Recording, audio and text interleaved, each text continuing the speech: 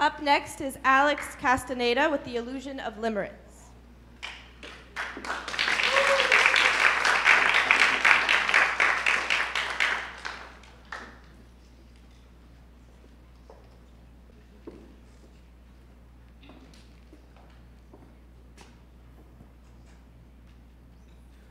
Hello, everyone. As mentioned, my name is Alex Castaneda. And last year, I finally met the love of my life. Well, come on, you gotta give me some cheer for that. It's not like I can say that very often. Let me tell you a little bit more about my romance. It follows a very cliche format where I could not believe I had met such an amazing, intelligent, and pretty girl. And thankfully, we had a strong relationship that lasted three solid days. Needless to say, I could not get my mind off this girl both before and after our long romance. She was my mental tattoo. Her constant presence within my thoughts got to the point where one day I came up to my mother in tears and I said, I blew it, mom, I blew it. She's the love of my life and now she's gone. Now, my mother was very kind and patient, and at one point during my whole rant, she looked at me. And she said, Alex, you're 15. You're not going to die of a heartthrob. Now, I'll admit, I was hurt by this, but soon what my mother said to me became my new mental tattoo. And I gradually began to think less and less about this girl. Most importantly, however, it made me re realize how everyone who surrounded me was going through something similar to my love story. This led me to do some research research, and here's where I found the real love of my life. Now, this lovely woman went by the name of Dorothy Tennov, and she was an American psychologist who, back in the mid 1960s, wanted to understand the psychology behind love. At the time, there was not much study on love. It was a pretty vague concept. So she decided to conduct the research in the form of personal testimonies that she obtained from questionnaires, interviews, and letters from her reader. She got over a thousand of these testimonies, and she made sure that they were all from people who belonged to different age groups, cultures, and ethnicities. The purpose of her research was to provide evidence for her hypothesis that an involuntary psychological state occurs identically within people of different backgrounds when claiming they are in love with another person. At first, the testimonies went as she expected. The people who claimed to be in love showed signs that they had become more selfless and accepting ever since they began a relationship with their loved ones. Their happiness was their happiness.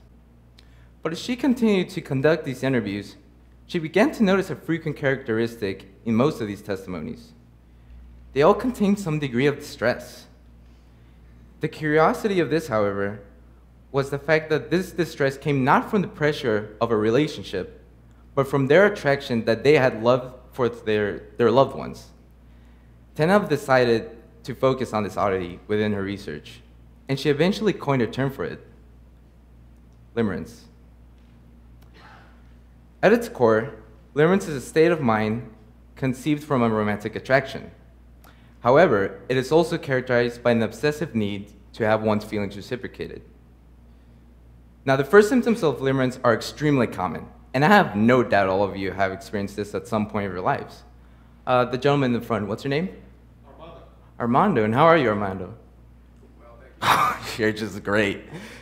Awkwardness, shyness, and, and stuttering are all basic symptoms of limerence. They occur whenever you are near the individual you are attracted to, or even when you simply think of them.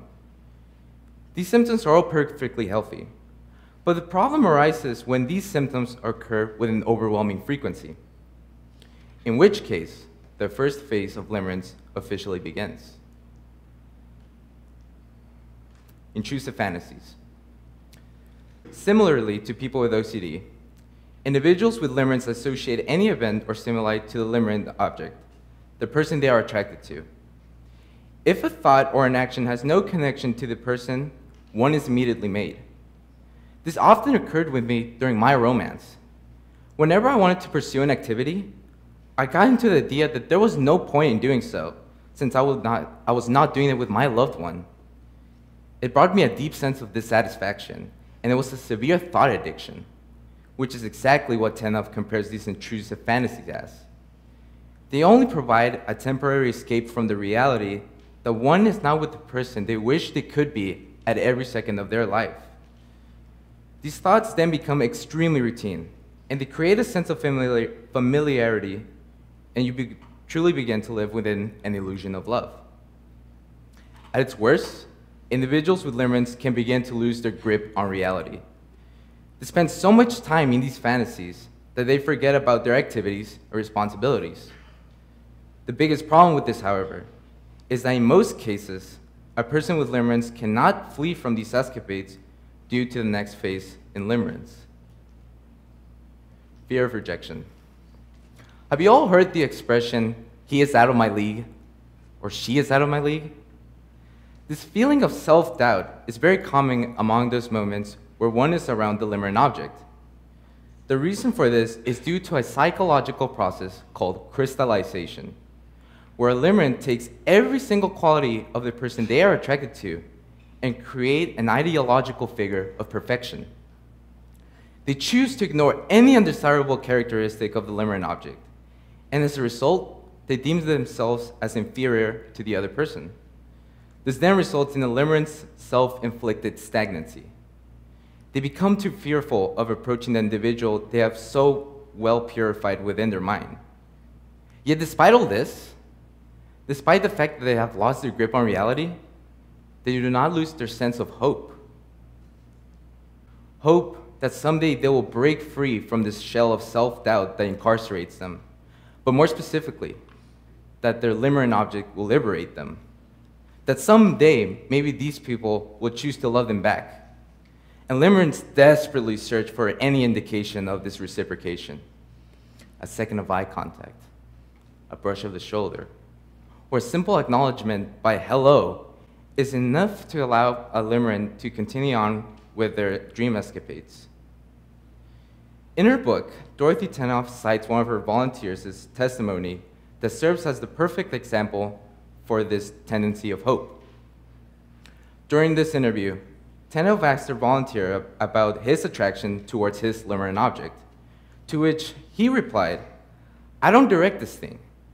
This attraction, it directs me. Even though I know that Emily and I have absolutely no chance of making a life together, the thought of her is an obsession. So, why does this matter? Well, the best way I could answer this is by going back to our lovely woman. I never got around to explain why Dorothy Tennov is so important to me. So here's why. In addition to my understanding of limerence, it is because of her that I now understand the value of questioning love questioning the love you may have for your parent, for your child, for your partner, but most importantly, your aspirations. If your matrimony may have been built upon a mirage, what does that say about your passions? Would you truly love being a doctor? Would you truly love being a musician, an artist, or a lawyer? It is by questioning what we love that we step out of love born out of familiarity, or fear of rejection, or even hope. And Dorothy Tennov provides the steps to do exactly this. She developed three ways to end limerence.